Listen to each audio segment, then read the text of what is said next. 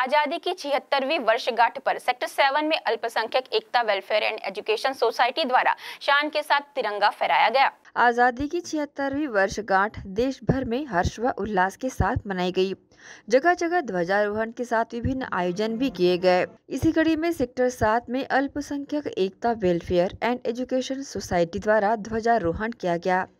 क्षेत्रीय पार्षद लक्ष्मीपति राजू यहाँ विशेष रूप से शामिल रहे। यहाँ Alpsankhyak Ekta welfare and education society के अध्यक्ष शमशुल खान भी प्रमुख रूप से शामिल रहे। भारत माता के तैली चित्र पर सर्वप्रथम माल्यार्पण व पूजन अर्चन के पश्चात विधिवत ध्वजारोहण कर राष्ट्रगान प्रस्तुत किया गया। इस मौके पर उत्कृष्ट कार्य करने वाले सम्मानित भी किए गए। मुख्य अतिथि रहे लक्ष्मीपति राजू को सोसाइटी के अध्यक्ष शमशुल खान ने पुष्पगुच्छ भेंट कर सम्मानित किया गया। बहरहाल हर्ष और उल्लास के साथ सोसाइटी द्वारा ध्वजारोहण कर आज़ादी का पर्व मनाया गया। ग्रैंड एशियन न्यूज़ के लिए शाहीन खान की रिपोर्ट।